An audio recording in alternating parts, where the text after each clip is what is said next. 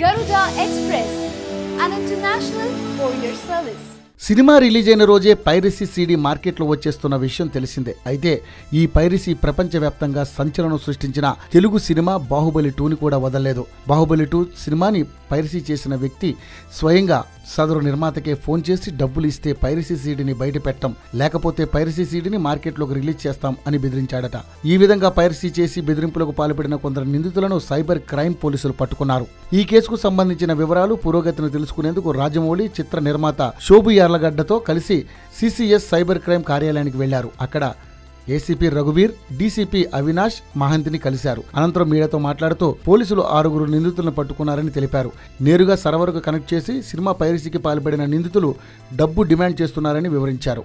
పోలీసుల సహకారంతో వారిని బీహార్లోని బిగుసరాయిలో పట్టుకున్నామని తెలిపారు. వారి అరెస్టుకు బీహార్ స్థానిక పోలీసులు సహకరించలేదని రాష్ట్ర పోలీసుల చొరవతోనే వారిని అరెస్ట్ చేసినట్లు వివరించారు. ఈ సందర్భంగా పోలీసులకు సినీ పరిశ్రమ ఆర్కా మీడియా తరపున కృతజ్ఞతలు తెలిపారు. ఎన్ని జాగ్రత్తలు తీసుకున్నా సినిమాలు పైరసీని చేస్తూనే ఉన్నారని ఈ సందర్భంగా రాజమౌళి ఆవేదన వ్యక్తం చేశారు. పైరసీకి పాల్పడుతున్న వారిని కఠినంగా శిక్షలు విధించాలని వారు కోరారు.